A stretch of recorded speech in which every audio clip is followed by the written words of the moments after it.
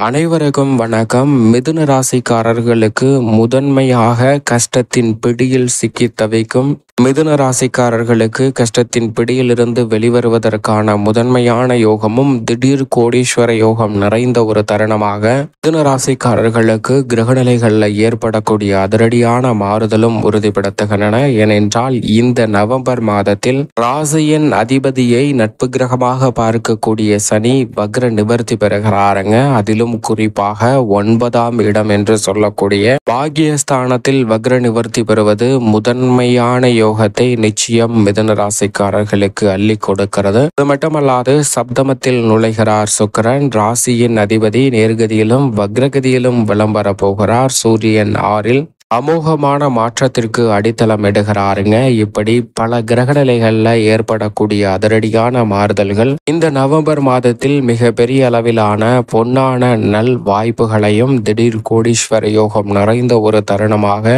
மாறக்கூடிய வகையில் பொருளாதார ரீதியாக வளர்ச்சியையும் முன்னேற்றத்தையும் மல்லிக் கொடுப்பதற்கான யோகம் நிறைந்த ஒரு சந்தர்ப்பத்தை நிச்சயமாக உருவாக்கி கொடுக்கிறது. எனவே மிதுன ராசிக்காரர்கள் சற்று சாதகமாக பயன்படுத்தி கொண்டால் நிச்சயம் நீங்கள் நினைப்பதை விட எதிர்பார்ப்பதை விட மிக சிறப்பான முன்னேற்ற வாய்ப்புகளை இந்த தருணத்தில் நிறைவாக பெற முடியும் என்பதை தான் கிரகநிலைகள் திட்டவட்டமாக உறுதிப்படுத்துகின்றன. சந்திரன் பனிரெண்டு இடங்களிலும் மாறி மாறி சஞ்சரித்தாலும் பெரும்பாலும் சாதகமான நற்பலன்களை அள்ளி கொடுக்கிறாருங்க. எனவே சந்திரனின் அமைப்பால் மிதுன ராசிக்காரர்களுக்கு கையில் எடுக்கக்கூடிய காரியங்கள் அனைத்தையும் கனக்கச்சிதமாகவும் தெளிவாகவும் துல்லியமாகவும் செய்து முடிப்பதற்கான யோகம் மிகவும் நிறைவாக கிடைக்கக்கூடிய அற்புதமான தருணமாக நிச்சயமாக பார்க்கப்படுகிறது. ஆனால் சந்திரன் அஷ்டமத்தில் சஞ்சரிக்கும் போது மட்டும் அதிக கவனமும் விழிப்புணர்வும் மிக முக்கியமாக தேவை. ஏனென்றால் அந்த தருணத்தில் தேவையில்லாத பிரச்சனைகள் உங்களை தேடி வருவதற்கான வாய்ப்புகள் உண்டு. எனவே சந்திராஷ்டம தினங்களில் மட்டும் சற்று விழிப்புணர்வுடன் இருங்க. மற்ற தருணங்கள் அனைத்தையும் நிறைவானதாக மாற்றி கொடுக்கிறார் சந்திரன்.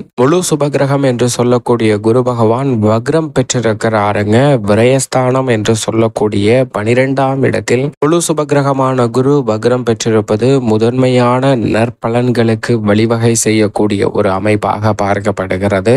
அது மட்டுமல்லாது குருவின் சுப பார்வை நான்கு ஆறு எட்டு ஆகிய இடங்களை வலுப்படுத்துவதால் எதிர்பார்ப்பதை விட பல்வேறு வகையான சுப நிகழ்வுகள் மிக சிறப்பாக கைகூடும். கடன் சார்ந்த சுமைகள் கஷ்டம் விலகக்கூடிய நல்ல வாய்ப்பை குருவின் சுப பார்வை வக்ரகதியில் இருப்பதால் ஏற்படுத்தி கொடுக்கிறது. அதோடு மட்டுமல்லாது அஷ்டமஸ்தானத்தை வலுவாக பார்ப்பதால் எப்பேற்பட்ட காரிய தடைகள் தோஷங்களாக இருந்தாலும் அவை இந்த தருணத்தில் நிச்சயம் கட்டுக்குள் வரும். எனவேதான் நவம்பர் மாதம் விரயத்தில் சஞ்சரிக்கக்கூடிய குரு வக்ரம் பெற்று லாபத்தை நோக்கி நகர்வது மிக மிக அற்புதமான பொருளாதார ரீதியான வளர்ச்சியை உருவாக்கி கொடுக்கிறது. அதோடு மட்டுமல்லாது மிக வலிமை வாய்ந்த சனியும் வக்ர நிவர்த்தி பெற்று ஒன்பதாம் இடமான பாகியஸ்தானத்தில் அமர்ந்திருக்கிறார். இரண்டு வலிமை வாய்ந்த கிரகநிலைகளும் மிக அற்புதமான வலுவான அமைப்பில் சஞ்சரிக்கக்கூடிய இந்த வேளையில் எந்த காரியத்தை கையில் எடுத்தாலும் அதில் பொருளாதார ரீதியான அசூர வளர்ச்சி உண்டு.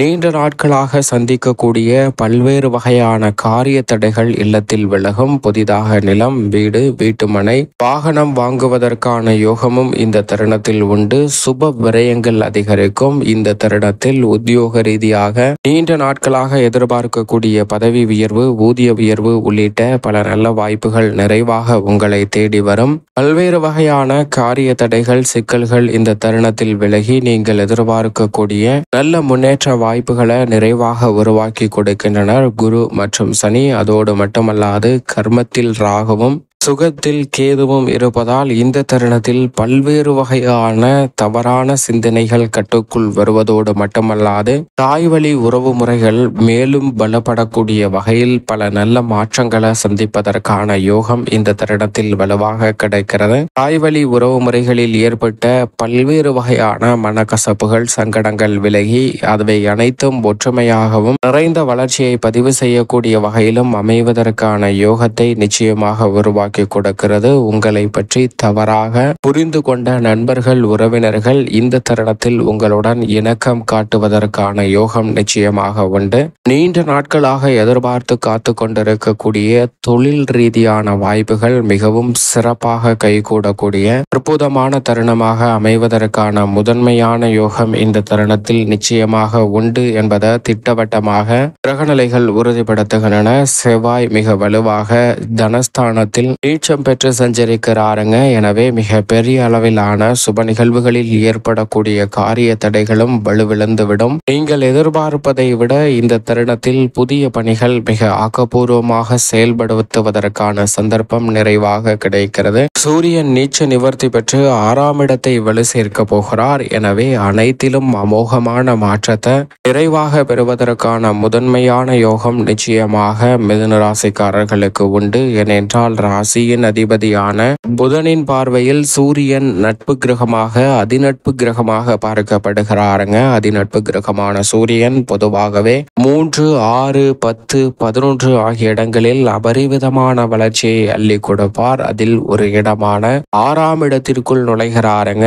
முதலும் முடிவுமாக இருக்கக்கூடிய சூரியனின் இந்த ஆறாம் இட சஞ்சார அமைப்பு அமோகமான பல வாய்ப்புகளை உருவாக்கி கொடுக்கிறது. கஷ்டத்தின் பிடியிலிருந்து வெளிவருவதற்கான நல்ல சந்தர்ப்பத்தை நிச்சயம் விரைவாக உருவாக்கி கொடுக்கக்கூடிய தருணமாக பார்க்கப்படுகிறது. சப்தமஸ்தானம் என்று சொல்லக்கூடிய ஏழாம் இடத்திற்குள் சுக்கிரன் நுழைகிறார். எனவே எப்பேற்பட்ட எதிர்பார்ப்புகளாக இருந்தாலும் கலைத்துறை அரசியல் துறையில் கன கச்சிதமாக இந்த தருணத்தில் உங்களுக்கு கைகூடும். மிக பெரிய அளவிலான வெற்றி வாய்ப்புகளை மிதுன ராசிக்காரர்கள் இந்த தருணத்தில் கிடைப்பதற்கான வாய்ப்பு நிறைவாக உண்டு. இந்த தருணத்தில் எதிர்கொள்ளக்கூடிய தேர்தலில் உச்சபட்ச வளர்ச்சியும் பிரம்மாண்டமான யோகத்தையும் நிச்சயம் நிச்சயமாக சந்திக்கலாம். மனக்கசப்புகள் சங்கடங்கள் மறைந்து மிக பெரிய அளவிலான வெற்றி வாய்ப்பை நிறைவாக பெறுவதற்கான முதன்மையான யோகம் இந்த தருணத்தில் நிச்சயம். மிதுன ராசிக்காரர்களுக்கு கிடைக்கிறது என்பதை திட்டவட்டமாக சுக்கிரன் உறுதிப்படுத்துகிறார். ராசியின் அதிபதியான புதனும் நுணுக்கமான பல மாற்றங்களை மிக சிறப்பாக சந்திக்கக்கூடிய வகையில் பல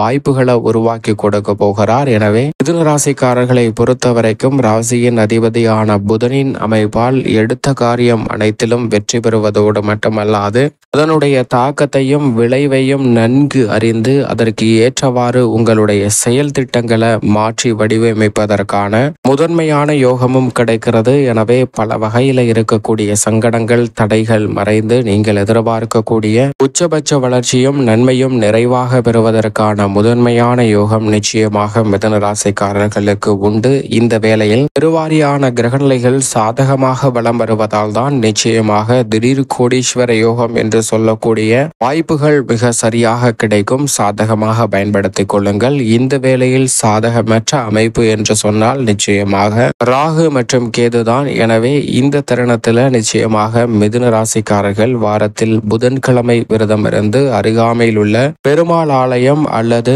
நவகிரக சன்னதி சென்று தீபமேற்றி வழிபாடு செய்யுங்கள். நிச்சயம் தங்களுடைய வாழ்வில் சந்திக்கக்கூடிய பல்வேறு வகையான கஷ்டங்கள் விலகி நல்ல முன்னேற்றமும் திடீர் கோடீஸ்வர யோகமும் நிறைவாக உங்களை தேடி வருவதற்கான முதன்மையான யோகம் நிச்சயம் மிதுன ராசிக்காரர்களுக்கு உண்டு.